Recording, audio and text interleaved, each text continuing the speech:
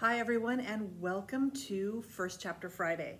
My name is Eva, I'm one of the librarians at the Alameda Free Library and today the book that I have for you is called The Girl Who Drew Butterflies, How Maria Merian's Art Changed Science.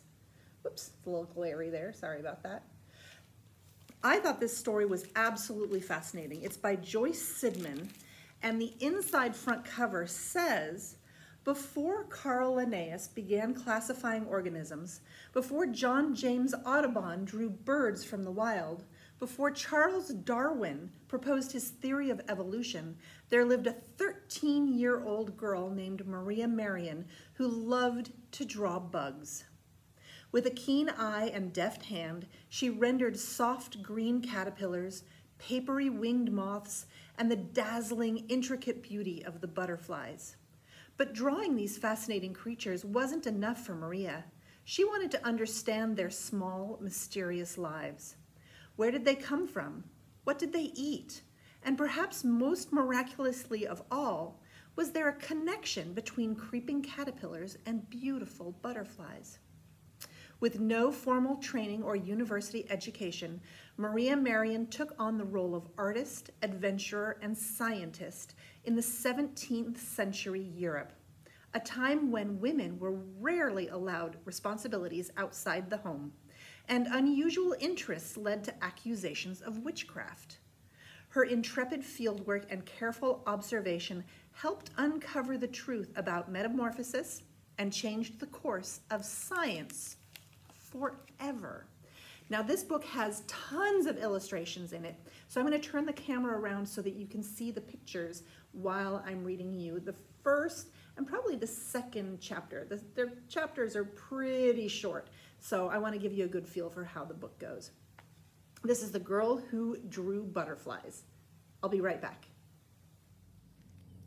All right, let's get going with The Girl Who Drew Butterflies, How Maria Merian's Art Changed Science by Joyce Sidman. It's a beautiful cover, isn't it? All right, let's flip it open. There are some end papers for you. There is the title page, table of contents, which we're gonna zip past, a butterfly glossary in case you aren't quite sure what all of the, the words mean in the book. And let's start with the introduction. The Girl in the Garden. A girl kneels in her garden. It is 1660 and she has just turned 13. Too old for a proper German girl to be crouching in the dirt, according to her mother. She is searching for something she discovered days ago in the chilly spring air. As she combs the emerald bushes, she looks for other telltale signs. Eggs no bigger than pin pinpricks, or leaf edges scalped by the jaws of an inching worm. Ah, she has found it, a crinkled brown cocoon, anchored on a branch like a sailor's hammock. She inspects its crumpled surface. Any change since yesterday? Any sign of the life within? No, not yet. Her neighbors despise the creatures that fascinate her. They believe that all flying, creeping things are pests, born of filth and decay. If any of them spotted this swaddled cocoon, they would rip it off and crush the vermin within, giving no thought to what it might become. But for years she has gathered flowers for her stepfather's studio, carried them in, and arranged them for his still life paintings. She has studied the creatures that ride on their petals, the soft green bodies of caterpillars, the shiny armor of beetles, the delicate wings of moths. She has looked at them closely, sketched and painted them. In learning the skills of an artist, she has learned to look and watch and wonder. Imagine this girl, forbidden from training as either a scholar or a master artist because she is female.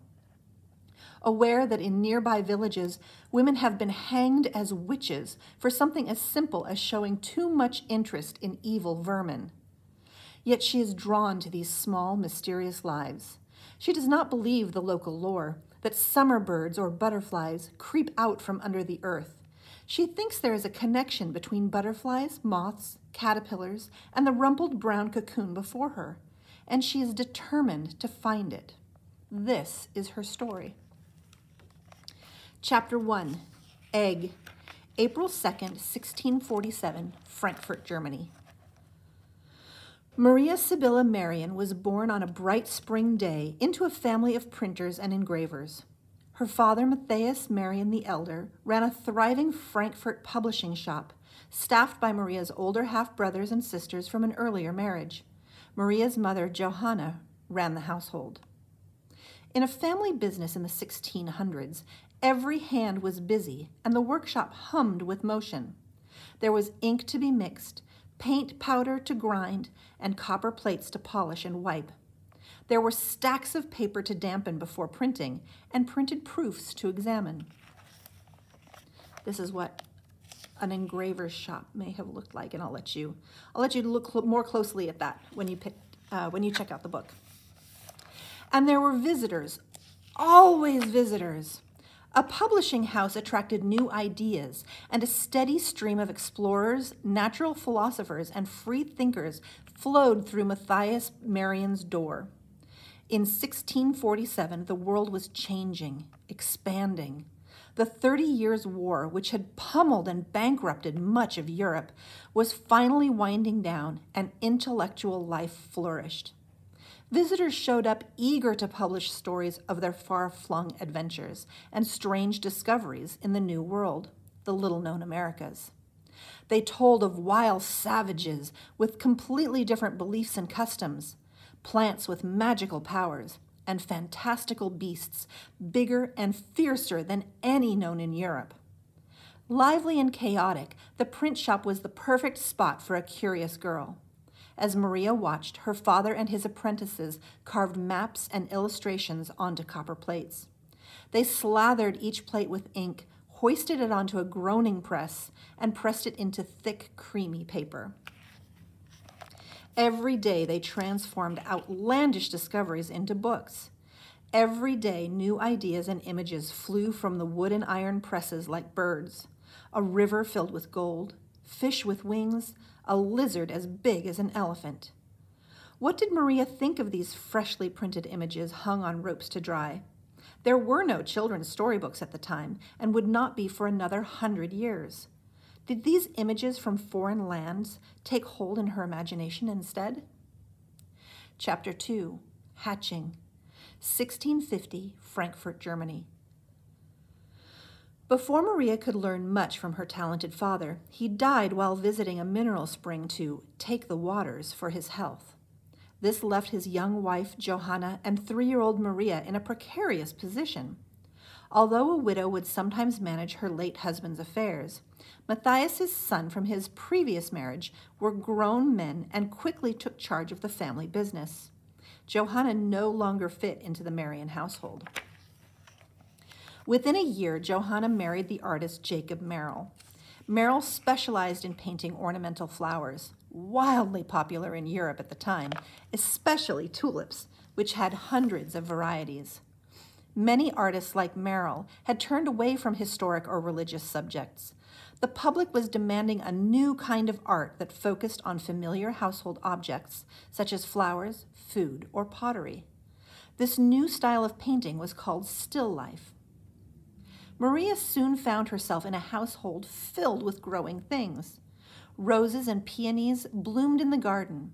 Tulips and lilies drooped gracefully in studio vases. Their scent, shape, and color became part of her waking hours. So too did the tiny insects that crawled upon them, the beetles and wasps, the bees that floated from blossom to blossom. Her stepfather prized insects as models and sent Maria outside to capture them. He felt they made his paintings look more alive. Maria puzzled over those insects. No one could tell her where they had come from. Calves came from cows, and birds hatched from eggs. But insects? Some said they grew from old things. Flies grew from old meat, moths from old wool. Some believed that sunshine shrank drops of dew into eggs, which hatched into maggots.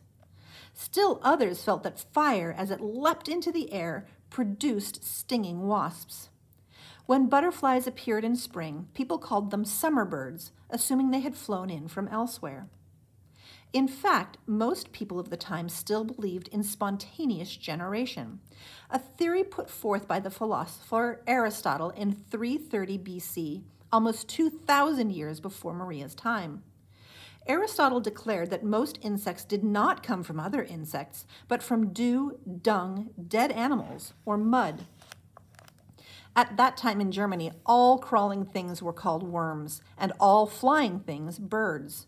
No one connected various phases of insects to one another, and no one knew where to fit them into the natural order. Were insects just early forms of completely different animals? Did butterflies eventually turn into birds or beetles into frogs?